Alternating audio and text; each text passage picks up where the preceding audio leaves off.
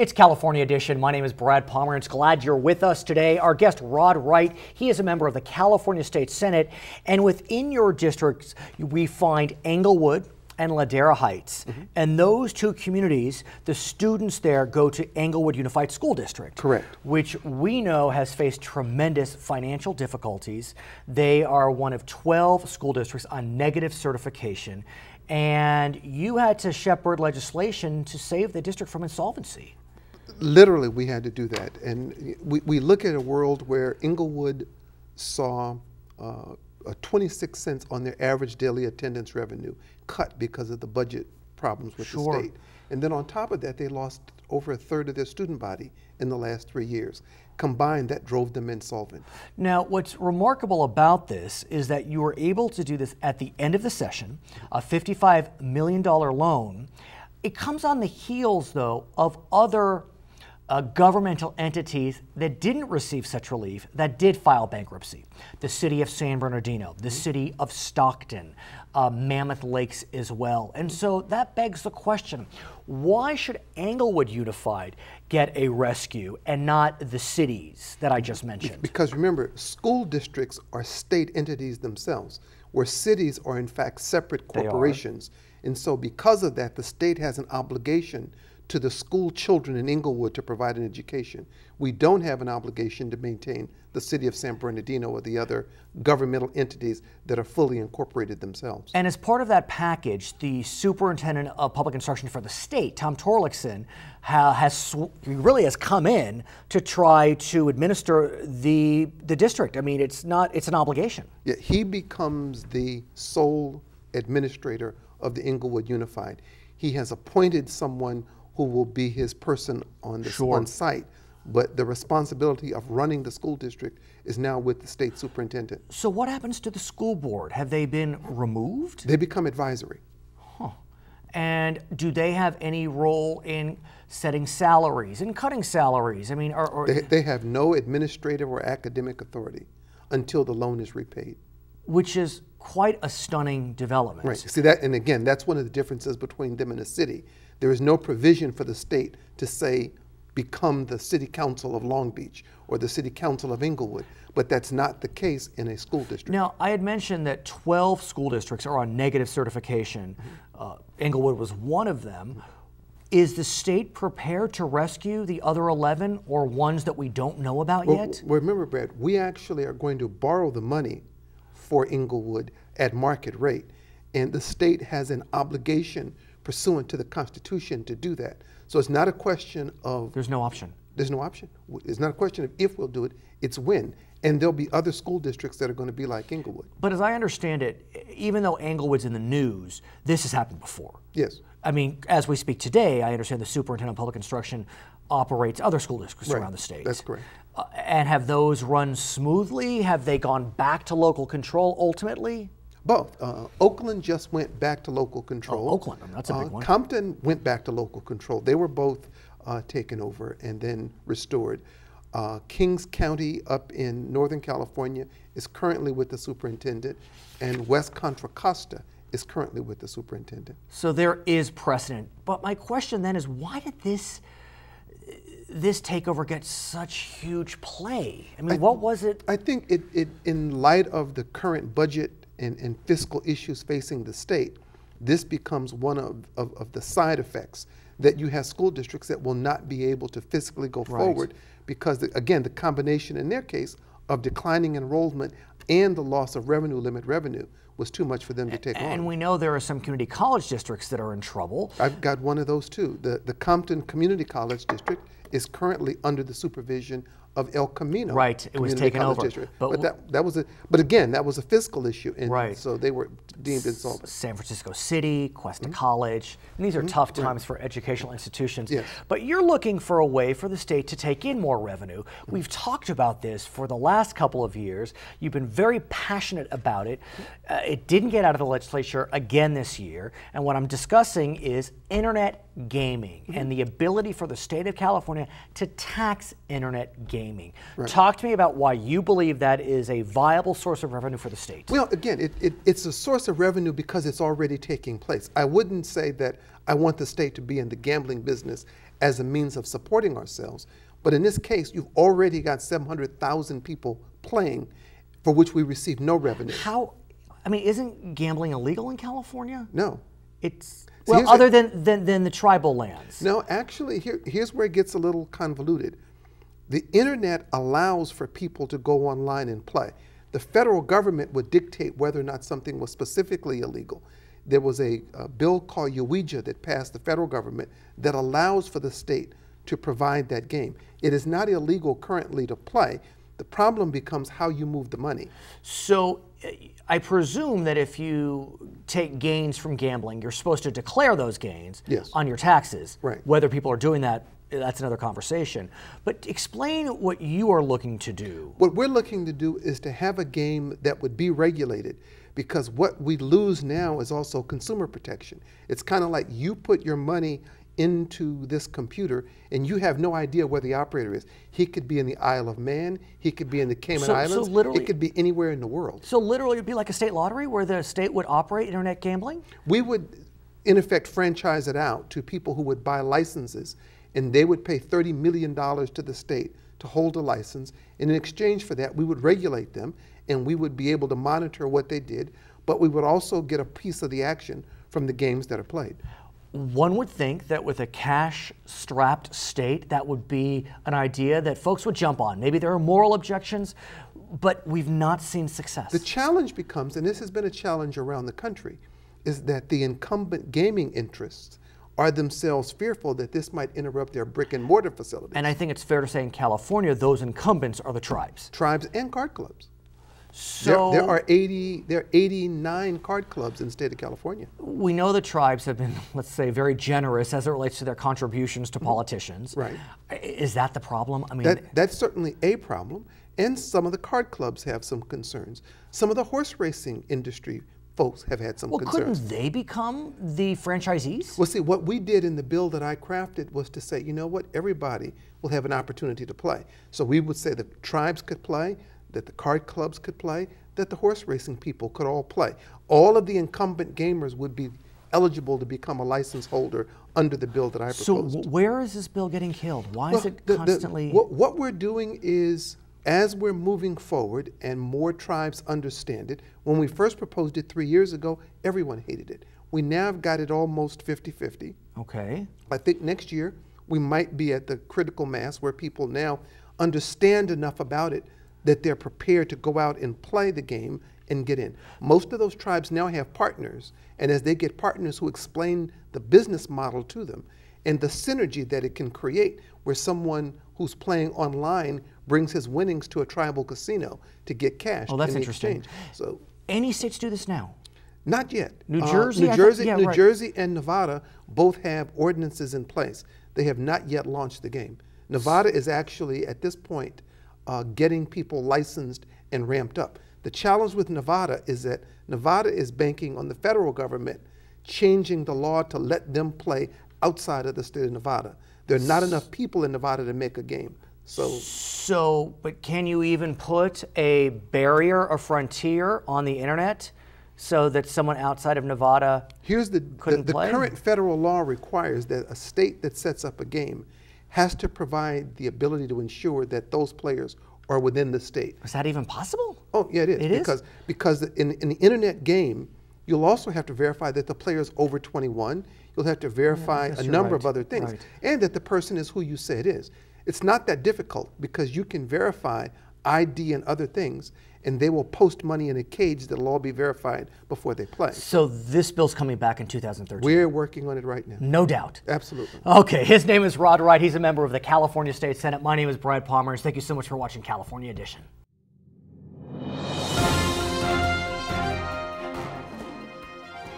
What was the first nation to pass laws relating to online gaming? Antigua and Barbuda? The Cayman Islands? Island of Man? or Sao Tome. In 1994, Antigua and Barbuda became the first nation to pass laws relating to online gaming. You're watching California Edition. I'm Brad Pomerance. It's Glad you're with us. Our guest, Doug Haubert, he is the city prosecutor in the beautiful city of Long Beach. And I want to speak with you about what we know as gang injunctions. I remember, I think it was in the 90s, it was a very hot topic because the question was is it constitutional to prevent folks from congregating, assembling together. I mean, that's the First Amendment. Give us a background on that, and then we'll talk about what's happening in Long Beach. Well, thank you for having me on Please. the show. And uh, you're right, when gang injunctions came out, there was some controversy because it was new and people didn't understand it. Since the 1990s, uh, there have been court rulings that have confirmed that uh, gang injunctions are a legal and effective tool to deal with uh, gangs in, in certain areas, in urban areas. And while congregating in a park might not seem like a hostile act, when they're gang members and when it's a park that they've claimed as their territory and they use it to the exclusion of all others, mm. that congregating is actually it's more than that. It's sending a message to the public that this is their turf, this is their area. So breaking up the ability of gangs to congregate in public areas is actually an effective public safety tool. And so, how do gang injunctions operate today? Well, today, uh, first of all, an injunction has to be secured from the court. So the court has to approve it. Prosecutors, law enforcement officers, they can't uh, get a gang injunction without willy-nilly. going through a judicial process. So there have to be declarations, often by experts and those who have firsthand knowledge of the gangs. Once the, uh, the court proceedings are handled and the judge gets to the final decision of whether or not to issue a gang injunction, there's always, uh, the, the gang has to be named in the lawsuit. And there's, in every injunction I've seen, a target area, an area where that gang has exhibited its, its control and has demonstrated that that is its territory, it's claimed that territory. So it applies to the active gang members in that territory. And the last thing is they have to get notice that they're on the injunction. They have to be actually served with formal process before it can be enforced against them. Once they've gotten notice, after the court proceeding is all done, then law enforcement and prosecutors can use a gang injunction against them. And so, for example, if someone is driving through a gang injunction area and they see gang members congregating, what happens? Well, if, if a law enforcement officer in Long Beach sees people in the target area, whether And this is not just Long Beach. I mean, many cities in California have this. That, that's correct. Actually, Los Angeles, I think, was the pioneer Right. in this. In Southern California, probably, we probably have more gang injunctions in Southern California than the rest of the nation. And, and to be quite honest, I think there's a reason for that. Gangs have kind of grown from here, and some of the gangs in Southern California have now grown and have branches in other states and in other countries. And they've been really fostered, incubated often in Central America. Yeah, some of those gangs are coming up here and they're merging uh, as, as, as we've seen. But uh, a gang injunction is just a tool. It doesn't actually uh, solve uh, a crime problem in a community. It just gives law enforcement the ability. For example, if a person is in violation of the injunction, law enforcement can arrest that person. Now, what happens when that person's placed under arrest is the officer has the right at that point to inquire deeper and find out what they're doing there, ask them questions. Sometimes we find out that a crime is about to occur. Sometimes these gang members who are arrested on the injunction turn out to have evidence in their pockets of some other crime. And so it helps the police not just to deal with the congregating in the park, that's part of it, but it helps them address the whole gang problem. And over time, that gang stops uh, using public spaces. They stop intimidating people in public because they know if they do that, they're going to get arrested. How do you prevent it, though, from being used as just a method of harassment? Well, every injunction is different. The terms are different. The people it applies to is different. It's my duty, I think, as a prosecutor, to make sure that our injunction, which we go to court and we get from the judge, we get that from the judge. In my view, that it's our responsibility to make sure that once the injunction's in place, it's enforced properly. So we do training with law enforcement. We work very closely with law enforcement to make sure that they're not contacting people that aren't on the injunction, and we provide them the information to how to run a, a background check so they know before they approach that person whether or not they're on the gang injunction. Now, I was surprised to learn that recently, uh, none other than the NAACP honored you. Uh, not that you don't deserve the honor, but for some efforts you are making to help folks get off gang injunction lists. Well, what's happened historically is communities have gotten injunctions. They've served people or named people in those injunctions, so the terms apply to those people.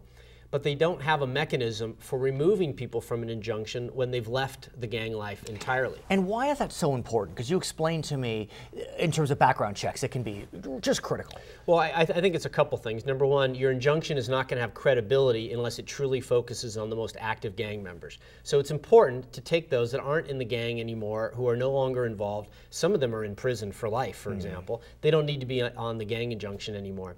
But here's the thing when you've left the gang, and some people leave the Southern California, they've moved to other areas, and it turns out that the gang injunction shows up on their rap sheet. And so they may be stopped by someone years after they were served with an injunction, long after they've left the gang. Likely and, cleaned up, we would hope. Uh, they could be they could be fully employed, have a family, and the gang injunction follows them around. Well, we don't want that to happen. If they're no longer involved in the gang, uh, there's no reason to enforce the gang injunction against them. So we've created an opt-out program, and I'm working with uh, several of the nonprofits here in Long Beach to identify people who may have been served on a gang injunction, but who no longer should appropriately be uh, held subject to the so. So, for example, let's say that you have moved to Pittsburgh and you're applying for a job, and there's a, bank, a background check done on you. What will come up through the Department of Justice is your gang injunction. Well, sure. Any any arrests and, and convictions, wants and warrants will come up, and also the terms of this injunction may come up uh, uh, on the rap sheet. So if you can't explain it to them, and they say, "Well, you should go back and figure out what the problem right. is and have it removed," we have the ability to remove them from the gang injunction list. So and, talk and, to us about this opt-out program. It's, as I understand it, very innovative, and the NAACP agreed as such.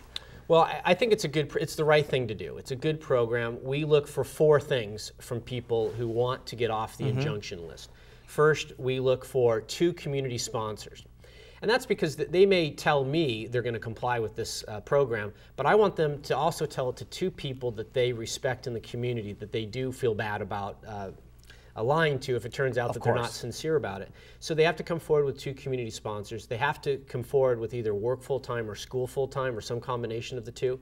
They have to do community service. That's the third uh, criteria. And the fourth criteria is they have to completely disassociate from the gang. If they're still hanging out with uh, known members of the gang, they're not going to qualify for the opt out program. And as I understand it, as we speak today, you've had a few individuals, I believe three, that have successfully participated in the opt out program. We, we have, and, and these are these are good success stories. These are people who who outgrew the gang life uh, and, and some of them were not the leaders of the gangs. Uh, they were just uh, people who got swept right. up in it when they were younger. Uh, some of them have uh, families now. They've moved on with their lives. They're working full time, and they're finding that the gang injunction is still following them. Right. And it could create a problem for them. Obviously, these terms are very, uh, very cumbersome and burdensome on people, as they should be. So to have them removed from the gang injunction so the terms don't apply, they would go through my office, we screen them. Often they're brought to us with a nonprofit who's willing to vouch for that person's sincerity. And the community service sometimes is done at that nonprofit. And you had one individual that chose to join the military. I mean, that's that's quite a success story. We had someone come forward with uh, an Army recruiter. The Army recruiter had said, "We screen this person. He's appropriate. Uh, he had some minor uh, violations of the law years ago. Right. Uh, but this gang injunction is showing up on his rap sheet, and that will prevent him from serving his country uh, in the Army." He came forward and was one of the two community sponsors that said, "I'm going to vouch." I think that's a pretty good one. Credibility and sincerity. It was very good. We accepted it and we went through uh, the program, and he's he's doing very well. And uh, I, I, don't believe this person will ever be a, a problem and in Long Beach. So, are individuals approaching? Is there some reticence to participate in these four items? Well, obviously, it's not easy to qualify. We wanted to have a bar that was high enough that it allowed the people who are sincere to qualify, but to keep out those who really do still have a foot in the gang. Uh, and we, I think this criteria gives us the flexibility to deal with, with people. And we have had many people inquire, but like I said, we've only had three people go the distance to well, actually come forward. I congratulate you on your honor with the NAACP. His Thank name you. is Doug Haubert. He is the Long Beach City prosecutor. My name is Brad Pomerance. So we'll be right back on California Edition. How many cases does the Long Beach Prosecutor's Office handle on average each year? 10,000? 12,000, 14,000, or 16,000. The Long Beach Prosecutor's Office handles approximately 14,000 cases each year. This is California Edition. I'm Brad Pomerance. Our guest today is Gerrie Schipske. She is a member of the Long Beach City Council, and I am always glad when you join us, you give us such important information. And recently, and it's so very important that we do this, we had our great shakeout. Um, and the reality is, we need to be prepared for an earthquake. I love that you say shake out, don't freak out. I have two daughters, and one of them freaks out at the mere shake. And so it's so important. Talk to us about the Great Shakeout. Uh, it's an annual event that has been put together um, across the state of California to remind people um, that a big earthquake is coming right. uh, and to be prepared. And what their focus is, is that if you do feel an earthquake, that you get underneath a table um, and that you, you hold on to the, uh, to the legs and that ride it out. If it happens in the middle of the night, stay in your bed, put a pillow over your head. You're much likely to survive than if you're trying to jolt out of bed what about trip. going to the doorway? Is that a good idea or is that a myth? It's it's not a good idea because many people have been injured as the door swung oh, with right. the shaking of the home. So they say, um, and that's what the drill on October 18th was. It was about you know reminding everyone get under that table, hold on, uh, and you know you'll be covered. I have to admit something. I think it's fair to say that our earthquake preparedness kit probably not updated. Probably not updated. No. Talk to us about the importance of those kits, what should be in them, and, and especially since yeah. you're a nurse, right. and so you know about medical survival. Well, first, first responders, police and fire have said to us repeatedly what they learned in Katrina. Mm. It's no longer a three day on your own. That's it's a seven day. Right. And people say, well, we're not going to have a Katrina. But with an earthquake, it'll be very similar. Um, city managers out in uh, the valley found that when they had the very large windstorms uh, a year or two ago, right. They were cut off because That's you true. get cut off from electricity, lines were down, you couldn't pass on streets, so you couldn't get to work, you couldn't get to ATMs. It takes electricity to move gas. You mentioned ATMs. Someone told me, I can't remember, be sure to have cash. And don't have just 20s because the 20 is going to buy you a bottle of water. if that's all well, you, you got. Well, you don't want to use a 20 right. bottle of water, but, but, that's what will happen. literally, there will Absolutely. be change. And, and I don't want to be doomsday no, no, but no. I think the projections are because of the amount of oil lines and other things that the fire and police will be attending to major explosions um, like in San Francisco and fires. And so that means the rest of us will be on our own. So you have to have an emergency kit. I want to talk about water. Water is very important. I, I, let's face it, a human can live mm-hmm. without food right. for quite some time. Right. I mean, weeks, if not months. How long can you live without water? Not very long because you can get severely dehydrated, and the problem is it depends on when the earthquake hits uh, and where you are. Um, it, they they're viewing that the epicenter will probably be Palm Springs. Mm. God help us if you're in July of or course. August in Palm Springs and there's no air conditioning and, and you don't have access to water. So you have to have water, and what we're suggesting is people recycle it. In other words, buy some bottles, very large bottles, use them up, move in some more. So it, it stays fresh. And for one person, how much water should you have? Um, you should have it, well, you know, we're recommending that you have 8 to 16 8 ounce glasses per person per a day person. just to drink. And that's not for hygiene, that's simply for drinking. So, so I would double that amount per person in the house. Then you have pets as well, and people sometimes forget. So when you say about the emergency kit, make sure uh, you take care of your pets. You get extra pet food, uh, and if they have medication, and as well as yourself, if you have medication, get an extra supply of it because it Nurse may Schipske, be a while. please, Nurse Schipske, tell us. while. Tell us about medication because that is one area yeah. where people look. I mean, if you're diabetic, you'll have enough insulin, but you know, people. Well, you may not because if the refrigerator goes down. Good point. Uh, insulin is refrigerated, so you've got to be See? careful and figure out what you're going to do for a backup.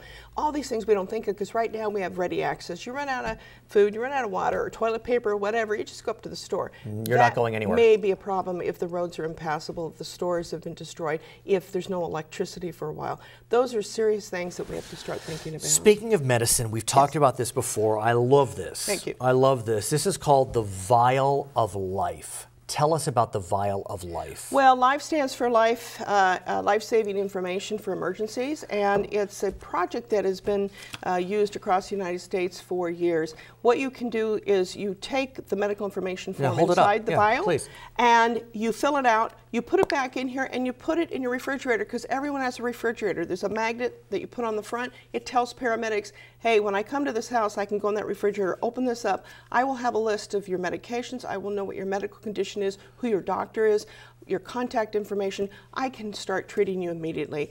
The paramedics are carrying these with them. They are taking them out when they go on call. We're distributing uh, for anyone who wants Right. them. We have a website. It's lbvialoflife.com. People can get more information on that. My mother recently had a health crisis. Fortunately, we were there. Yeah. She became unconscious. Exactly. If we had not been there, I, I don't know if the medical professionals would have known what was going on. And so that's why it is so incredibly important that we be prepared with these types of valuable information. I want to get a sense from you about whether people realize that the again we're not doomsdayers about you know the importance of this i live on the west side of los angeles and a couple uh, months ago there were those series of tremors in beverly hills you know not far from where i live in the imperial um, county there was these series of tremors Just a while ago, like Elsinore had. Right. And what's interesting is, on the one hand, I feel as if, oh, I like those tremors because they're releasing pressure, but that's not necessarily true. We know that. I mean, so when you talk to people, are they taking this very seriously? Some people are. Some people, um, you know, we, we deny that there's going to be anything bad happening in California. Uh, except now that we've seen the price of gas, I think people are starting Oh my, to yes. be believers No, that the bad doubt. things can happen. But then there's a whole group that says, listen, if something happens, fire and police will be there. And I just put on a, an event called Let's Get Ready Long Beach, and we're going Mm-hmm. to follow up in um, March because it's the anniversary, the 80th anniversary of the Long Beach earthquake. Tell us about it. I love your history lessons. Begin. Yeah, March uh, 1933, we had a 6.3 earthquake, um, which was devastating for the city because um, the construction was not what it is today. As a result, we have great earthquake um, construction. The problem was the schools, particularly, were affected. 98% of the schools were destroyed. You're kidding. And students had to be um, taught in tents or out at Recreation Park or out in the grass for two years. took that long to rebuild all the schools. We won't have that problem again because we do have really secure schools. So what we're trying to do is just remind people it impacted Long Beach greatly. We are on the um, Newport Inglewood Fault. We are adjacent, not too far away from the San Andreas. This is earthquake country, and that while that was a great historical event because Long Beach survived and really became the model for architecture after that, um, it, we, it could happen again. And as, as I understand it, we really aren't at that much risk for tsunamis. Is that accurate? We, we don't know. I mean, I would I wouldn't want to throw that I in the mix know, it I now know. because then people I think at some point get so overwhelmed. It's like, well, I can't do anything about it anyway.